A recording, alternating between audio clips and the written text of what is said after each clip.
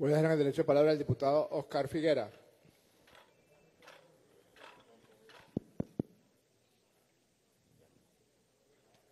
Gracias, señor presidente. Muy buenas tardes, diputadas y diputados. Sí, intervenimos en nombre del Partido Comunista de Venezuela y de Alternativa Popular Revolucionaria para, en primer lugar, expresar nuestro acuerdo con el proyecto que se ha presentado y que ha sido leído, porque efectivamente consideramos que es sumamente importante que una materia de tal magnitud, de tal envergadura, que tiene que ver con la naturaleza, con la tierra, con la vida, se esté abordando en la Asamblea Nacional a partir de un acuerdo que ha presentado el ponente respectivo.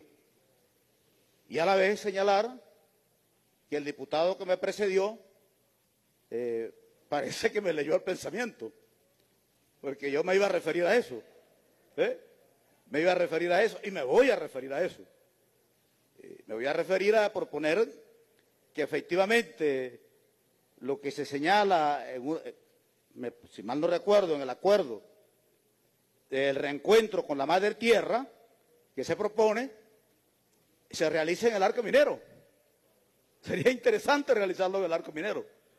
Ese, reencuentro con la Madre Tierra que se ha propuesto para poder determinar hasta dónde efectivamente lo que está aconteciendo en el arco minero responde a la descripción que nos hizo el ciudadano diputado hace unos momentos eh, en su exposición sobre los derechos de la madre tierra que debemos internalizar, que debemos asumir y que debemos defender y cuyo discurso acompañamos. Acompañamos.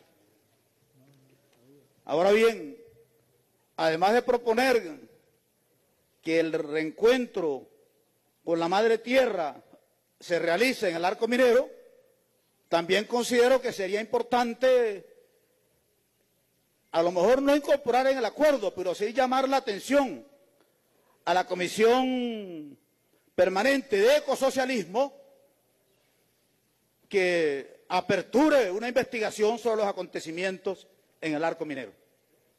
Porque la información que nosotros tenemos es que efectivamente no se corresponde con lo que dice el propio plan de la, plan de la patria y que lo que expresó el diputado que me antecedió no se corresponde lo que está aconteciendo en el arco minero.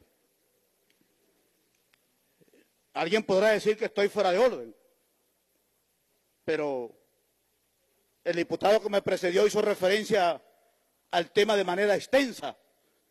Y yo lo único que estoy solicitando ante esta honorable Asamblea Nacional es que a partir de esa intervención, que me parece sumamente importante, se aperture una investigación de lo que está aconteciendo en el arco minero. Muchas gracias, señor presidente. Muchas gracias, diputados y diputadas.